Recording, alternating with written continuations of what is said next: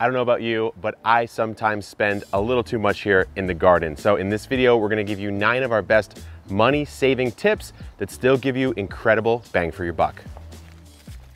Our first tip might sound a little too obvious, but trust me when I say the simple things make the difference. Starting your own seeds versus buying transplants. Now I'm a fan of both methods, but you simply can't beat the cost savings of starting your own seeds. I paid about $5 for this pack of corn seed. There are hundreds and hundreds of corn seeds in here, whereas if I were to buy a six pack at the nursery, I'm probably paying $4 just for those six. Now I do get them a little faster, but still, all these varieties here, hard to find at a nursery, easy and cheap to grow from seeds. Fertilizing your garden can actually get pretty expensive, and one of the things that we always do in the garden is take a bunch of prunings.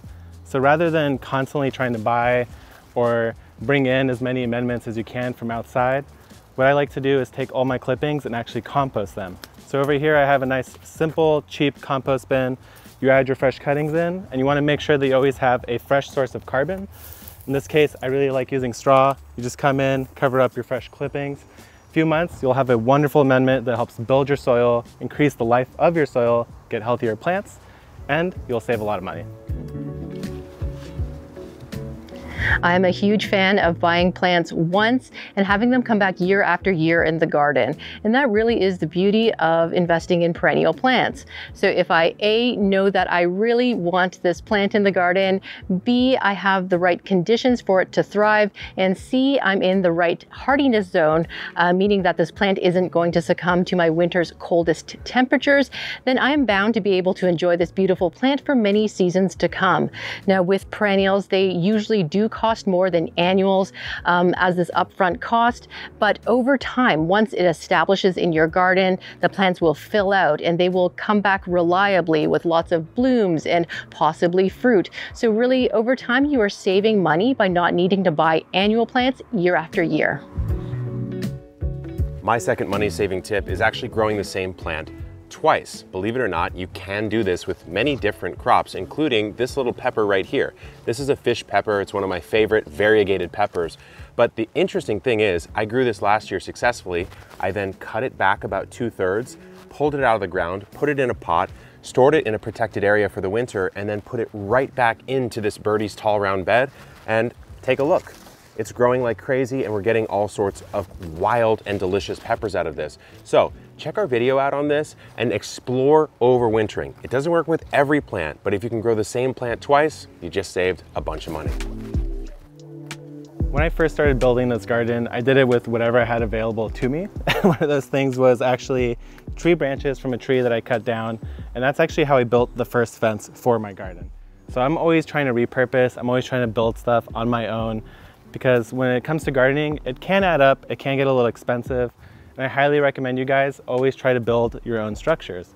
So in this case, I have this cucumber trellis. If I were to try to buy this commercially, it would probably cost in the realm of $100, $200.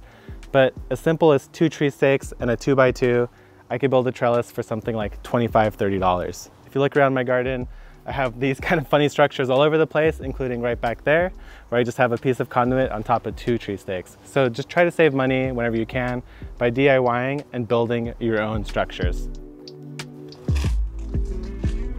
You've probably seen a number of how-tos on making more plants with the existing plants you have and even from kitchen scraps. Now, if you've never tried vegetative propagation or cloning before, it can save you a lot of money and it can be a lot of fun. So with many of the perennial plants, you can propagate from leaves, stems, and even roots as long as you have a bit of know-how and you just keep practicing. And some of the techniques include division, meaning like you rip up the base of the plant and you create brand new instant plants, or you can try layering where you're trying to encourage more roots to grow out of something like a stem. And the most common one is cuttings, where you try to get roots to show up here and then you get your plant. If you get really good at cloning, you may be able to make money by selling your little plants. My final tip, I confess, is maybe the most annoying for myself to actually practice and preach, and it is to have a plan in the garden. I cannot tell you how many times, whether it's a tomato or a fruit tree, I got a little excited at the nursery, I bought something, I did not have a plan for where it was gonna go, and then what happened to it? I did not plant it in time and it either became root bound or it died. And so that was just a pure waste, not only of money, but of my own time. So make sure you spend a little time before you go out and purchase things so you know exactly what you're going to do with them so you don't waste any money. One of the hardest things to learn as a gardener is how to actually be patient. It's extremely tempting to go to the nursery, buy the biggest tree that you could find, but they often cost 50, 60, $100 for a single tree. Instead, you could save your money and find a small tree like this one right here that I only got for $10, pot it up over the course of a year and you'll end up with a tree like this, which is exactly how this tree started in a little pot just like this. So it just takes a little bit of time and you could save hundreds of dollars over the course of your gardening career for example, this passion fruit right here is just a single plant that I put in the ground a year ago, and now it's taken over the entire trellis and it's giving me hundreds of passion fruit. So a little bit of time up front will save you hundreds of dollars in the long run.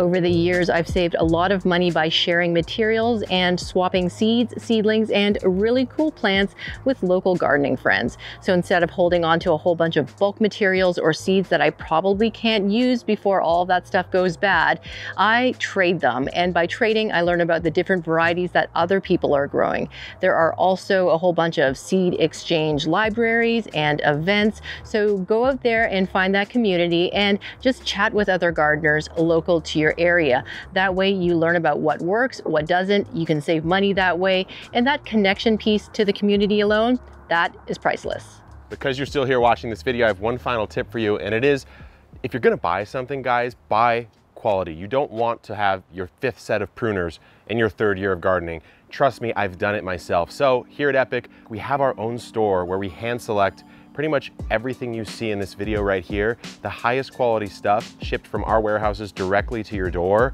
because we know you have to buy quality if you're gonna spend money in the first place. So until next time, good luck in the garden and keep on growing.